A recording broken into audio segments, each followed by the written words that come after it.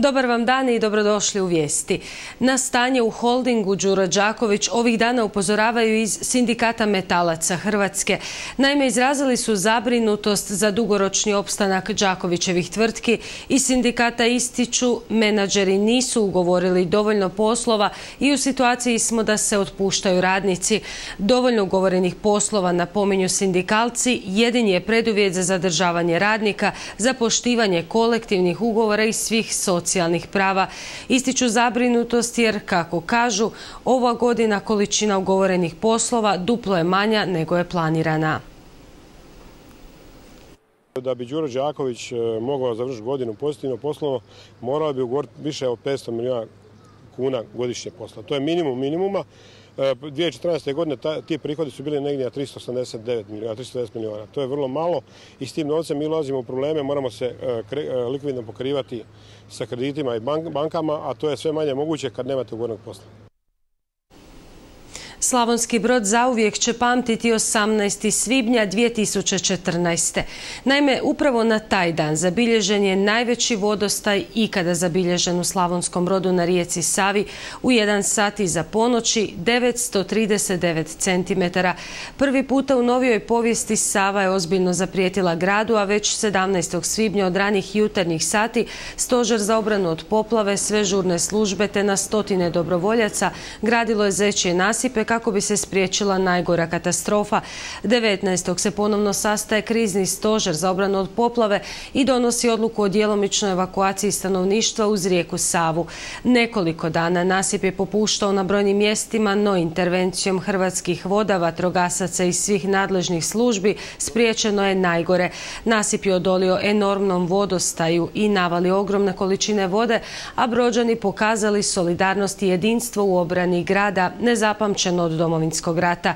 Danas, godinu dana poslije, proljeće obilježilo sušno vrijeme, a vodostaj na Savi kod Slavonskog broda kreću se na neobično niskih 80 centimetara.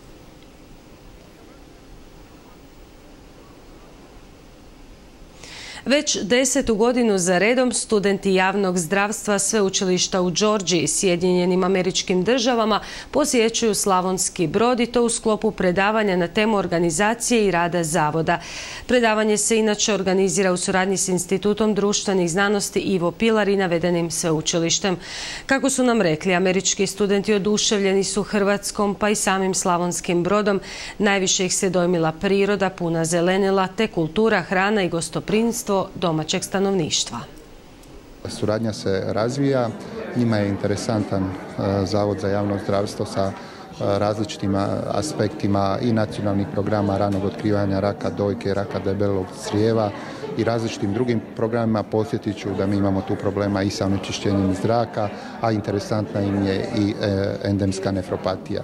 Naravno i kompletan zdravstveni sustav u Republici Hrvatskoj. Podsjećam, riječ je o studentima javnog zdravstva.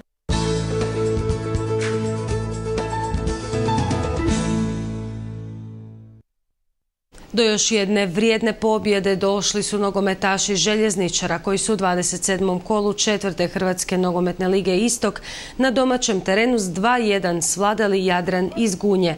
Bila je to gotovo kvalifikacijska utakmica za jedne i druge, budući se oba kluba nalaze u donjem dijelu tablice, te im je svaki bod ili pobjeda od iznimne važnosti.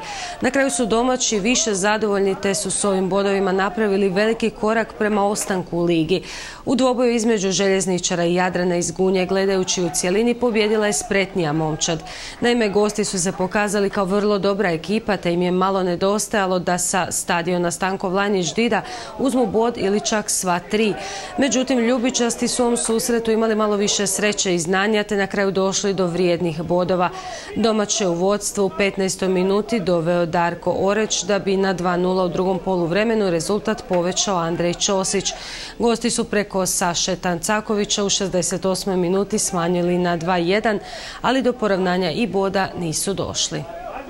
Pa ja sam rekao da je jako teško igrati pod pritiskom. Prvo čestitam svojim svim igračima i na pobjedi. Ovaj, mislim da ova pobjeda sada nas znači jako puno. Tako rekuć opstanak, ali još trebamo biti koncentrirani na daljnju igru. Ali doma zaista igramo dobro. Ovaj, u gostima imamo mali problem, ali ovaj dečki su veliki, veliki je to pritisak jednostavno, ali uspjeli smo.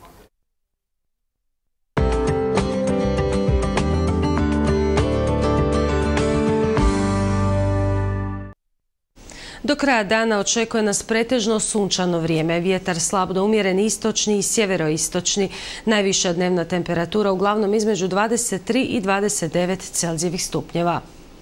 Za kraj vas još jednom podsjećamo da nakon dnevnika u 22 sata možete pogledati dokumentarni film u kojem donosimo kronologiju događaja svibanskih poplava prošle godine. Toliko u vijestima, hvala što ste bili s nama, lijep pozdrav.